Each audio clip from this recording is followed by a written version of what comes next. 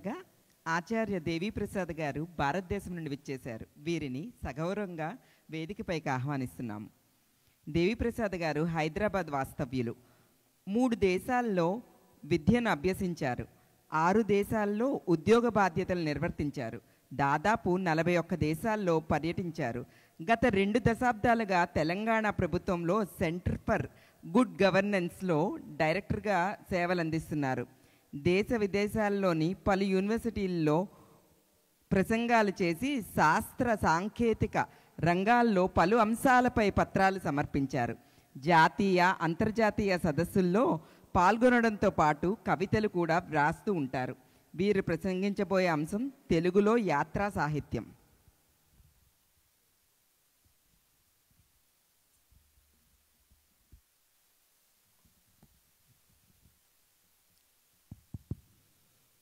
అందరికీ నమస్కారం. తొమ్మిదవ ప్రపంచ తెలుగు సాహితీ సదస్సు చేసిన భాషాభిమానులకు సాహిత్యాభిమానులకు అందరికీ నా నమస్కారాలు. సైర్ కర్యాకి దునియాకి జిందగాని ఫిర్ కహా జిందగీ అగర్ కుచ్ రహితో నవజవాని ఫిర్ కహా అంటే తెలుగులో ప్రపంచమంతా పర్యటించడం అజ్ఞాని జీవితం మళ్ళీ ఎక్కడ దొరుకుతుంది?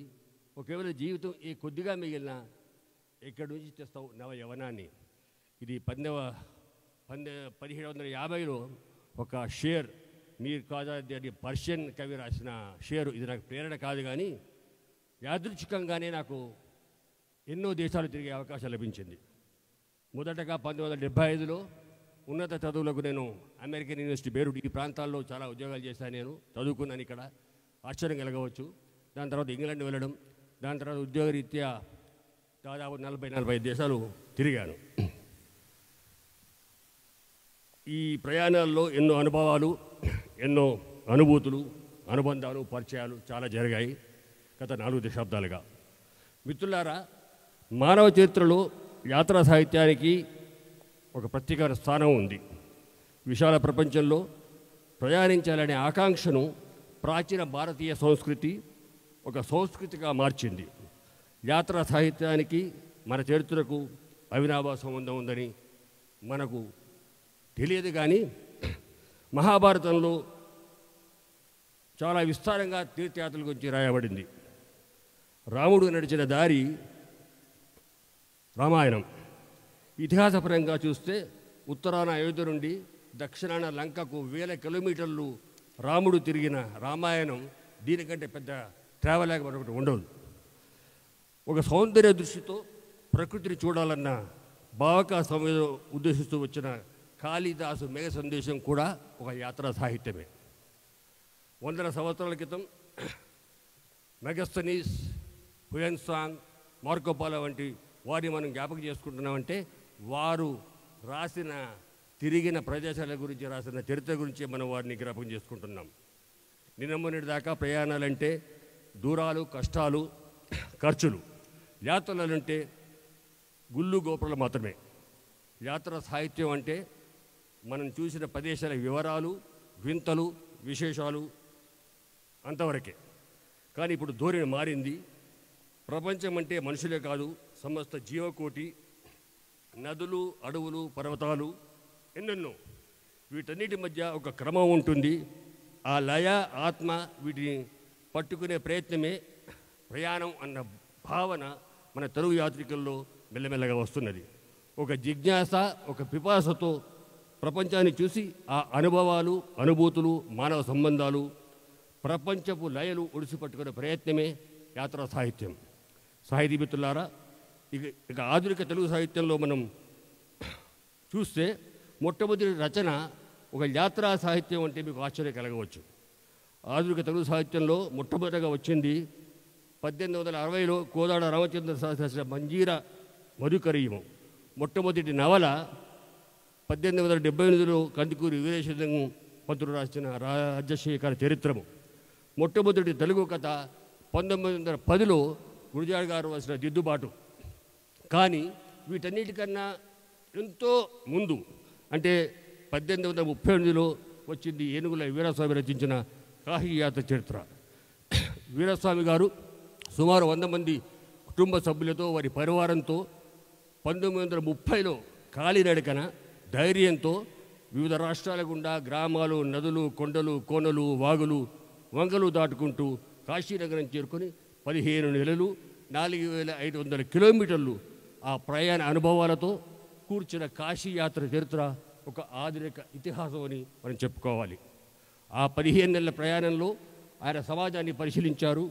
భౌగోళిక సామాజిక రాజకీయ మత ఆర్థిక భాషాపరమైన విషయాలు ఎన్నో ఆ పుస్తకంలో పొందుపరిచారు ప్రముఖ యాత్ర సాహిత్య రచయిత దాసరి అమరేంద్ర ప్రకారం దాదాపు రెండు శతాబ్దాల తెలుగు యాత్రా సాహిత్యంలో సుమారు రెండు వందల గ్రంథాలు వెలువడ్డాయి. పుస్తకాల రూపంలో కాకుండా వ్యాసాలుగా కొన్ని వందల వేల రచనలు వచ్చాయి. కొన్ని వందల మంది తమ ప్రయాణాల గురించి వ్యాసాలు రాస్తున్నారు. స్పందించే మనసున్న ఏ మనిషి అయినా ప్రయాణ తన ప్రయాణాల అనుభవాలను అనుభూతులను కొంతవరకు మూటగట్టుకుంటాడు తద్వారా తన ప్రపంచపు పరిధి విస్తరించడం అవగాహన పెరగడం దృక్పథం మారడం గమనిస్తాడు. తన ఆలోచనలు విశాలమవడం గమనిస్తాడు. ఆ అనుభవాలను ఆ మధురానుభూతులను పది మందితో పంచుకోవాలనే తహతహల్లోంచి వెలువడేది యాత్రా సాహిత్యం. ఆధునిక కాలంలో అనేక ప్రముఖ తెలుగు రచయితలు తాము చేసిన యాత్రలను వర్ణిస్తూ అనుభవాలను అనుభూతులను వివరిస్తూ ఎన్నో రచనలు చేస్తూ వస్తున్నారు. కందుకూరి వీరేశలింగం కాళోజీ నారాయణరావులు తమ జ్ఞాపకాలలో బొంబాయి ప్రయాణాల గురించి రాశారు. శ్రీశ్రీ రావూరి భరద్వాజ ఆరుద్ర సోమసుందర్ అక్కినే నాగేశ్వరరావు సి నారాయణ రెడ్డి గోపి గారు ఎల్లూరి సుధాకర్ అంపశయ్య నవీన్ పరావస్తు లోకేశ్వర్ వాటరేవు చిరభద్రుడు మల్లాది వెంకటకృష్ణపతి లాంటి వాళ్ళు ఎందరో తమ యాత్రల గురించి ఒక కవితగానో పుస్తకంగానో రాశారు. తెలుగు నటి భానుమతి మాలతి చందూర్ టంగుడూరి సూర్యకుమారి వంటి ఎందరో తమ యాత్రలను అక్షరబద్ధం చేశారు. కానీ ఇవన్నీ వ్యాపారపరంగానో లేకపోతే సెలవుల్లోనూ దేశ విదేశాల్లో వివిధ దర్శనీయ స్థలాలకు వెళ్ళి తమ అనుభవాలను వర్ణించే కథనాలు మాత్రమే. ఆ విధంగా నిజమైన యాత్రా రచనలు తెలుగులో చాలా తక్కువనే మనం చెప్పుకోవచ్చు. అందులో సాహితీ స్వరూపం పొందుపరుచుకున్నవి అతి స్వల్పం మాత్రమే. అందుకే యాత్రా సాహిత్యపు ఉనికి ఇప్పటికీ తెలుగులో ప్రశ్నార్థకంగానే మనకు కనబడుతుంది. కథ నవల కవిత లాంటి ఇతర సాహిత్య ప్రక్రియలకు లభించే స్థాయి యాత్రా రచనలకు లభించడం లేదన్నది మనందరికీ తెలుసు. మచ్చ హరిదాస్ పంతొమ్మిది వందల తొంభైలో చరిత్రల మీద యాత్ర చరిత్రల మీద మొట్టమొదటిగా పిహెచ్డి పరిశోధన చేశారు. దాని తర్వాత ఇప్పటికీ యాత్రా సాహిత్యంలో చెప్పుకోదగ్గ చర్చ కానీ విశ్లేషణ కానీ ఒక పరిశోధన కానీ జరగలేదు. అందుకే విదేశీ యాత్రా సాహిత్యంతో పోలిస్తే మన తెలుగు యాత్రా సాహిత్యం ఇంకా కౌమార దశలోనే ఉందని మనం చెప్పుకోవచ్చు. మిత్రులారా యాత్రా రచనలు చేయడం ఆషామాషి కాదు. యాత్రా రచనలు చేయాలంటే సమయాన్ని డబ్బును వెచ్చించి ప్రయాణాలు చేసి స్వీయ అనుభవంతో అనుభూతులతో గాఢ పరిశీలనతో రాయాలి. కానీ కథలు నవలలు కవిత్వం అన్ని ఇంటి నుండి రాయవచ్చు.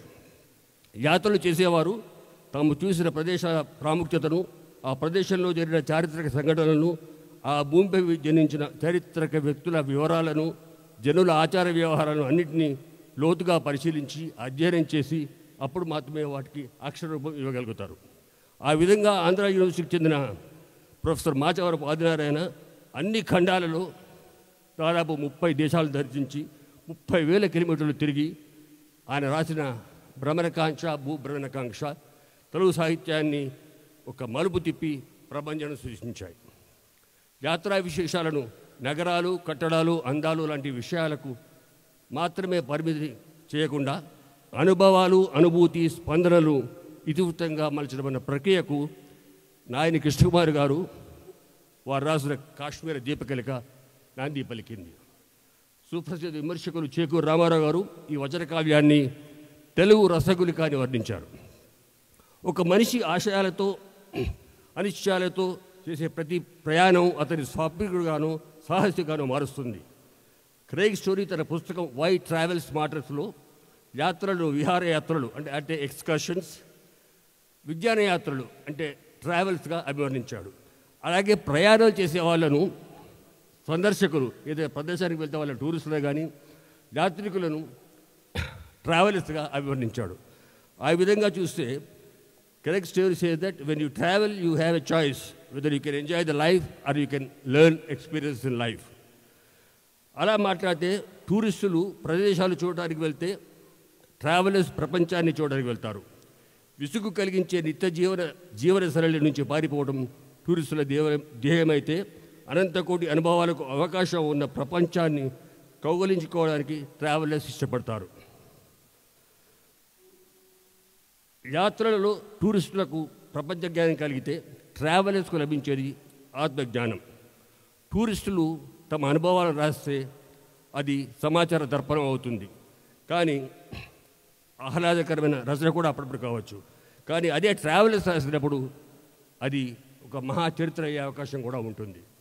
That's what we have seen Megasthenes sir Hiuen Tsang Fa Hien etcetera మిత్రులారా మనందరికీ తెలుసు ఆర్థిక అభివృద్ధి ఆదాయం పెరగడంతో గత రెండు మూడు దశాబ్దాల్లో తెలుగువారిలో యాత్రలు సామాన్యమైపోతున్నాయి తెలుగువారిలో యాత్రల మీద దుఃఖత మారుతూ ఒక పరిణితి చెందిన ఉత్సాహం కనిపిస్తుంది.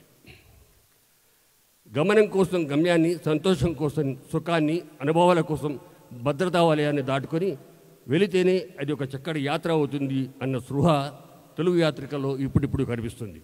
అదే స్పృహ వారు చేసే రచనలో కూడా మనకు ప్రతిష్టంగా కనబడుతుంది. ఎందరో యాత్ర విశేషాలు రాయడం ప్రచురించడం మనం విరిగా చూస్తున్నాం ఈ మధ్య. వాటిని ఆదరిస్తున్న పాఠకులు కూడా క్రమంగా పెరుగుతున్నారు. అనుభవాలు అనుభూతులు మానవ సంబంధాల ప్రాముఖ్యతతో రాసిన యాత్ర రచనలకు విశేష ఆదరణ రావడం ఇప్పుడిప్పుడే మొదలైంది. ఇది సాహిత్యమేనే చెప్పుకోదగ్గ రచనలు కూడా ఈ మధ్యనే తెలుగు తెలుగులో పెరుగుతున్నాయి. తెలుగు సాహిత్యంలో అరుగా శ్రమించే పునర్మితున రీప్రింటింగ్ అనేది ఈ తెలుగు ట్రావెలర్స్ కూడా మెల్లమెల్లగా రావడం మొదలవుతుంది. ఇప్పటి వరకు నిరాసక్తి నిరక్షానికి గురైన తెలుగు సాహిత్యానికి మరింత ఆదరణ పెరిగి ప్రపంచవ్యాప్త గుర్తింపు గౌరవం లభించే సమయం త్వరలో వస్తుందనలో సందేహం లేదు. ఈ సాహితీ సదస్సుకు ఆహ్వానించిన ఆంధ్ర కళా సమితి వారు మన వంగూరి భువనేశ్వర వారికి కృతజ్ఞతలు తెలుపుతూ ఈ అవకాశం ఇచ్చిన నిర్వాహకులకు కృతజ్ఞతలు తెలుపుతూ అందరికీ మరొకసారి నమస్కారాలు. థ్యాంక్స్ అమ్మా. Many thanks